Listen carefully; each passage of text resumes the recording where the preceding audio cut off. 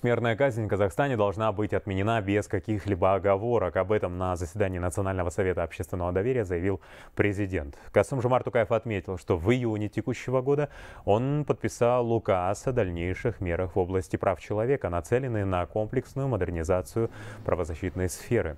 Ранее Казахстан присоединился ко второму факультативному протоколу к Международному пакту о гражданских и политических правах, направленному на отмену смертной казни.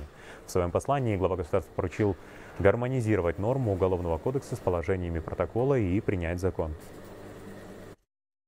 26 лет своей правозащитной деятельности из 30 с лишним лоббировала проталкивала, добивалась, э, боролась за отмену смертной казни в Республике Казахстан.